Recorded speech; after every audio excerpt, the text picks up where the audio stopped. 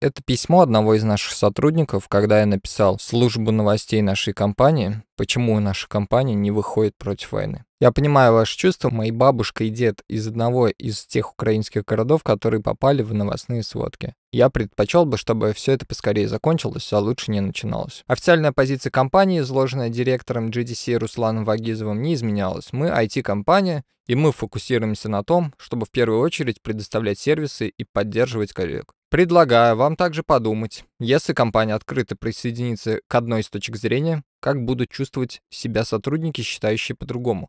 Как им тогда вести себя? Как отразиться на коллегах, если мы условно разделим компанию на линию с нами, не с нами? Мою новость не захотели размещать на сайте компании. Вот такая позиция у компании, которую я просил выйти против войны. Это компания ICL. А то есть, когда компания новости рассылает, что мы против коррупции внутри компании, сообщайте факты, а чё ж, это же поделит. А вдруг половина сотрудников за коррупцию, а половина против? А тут против убийства людей не может выйти. Компании только думают о своих деньгах, походу.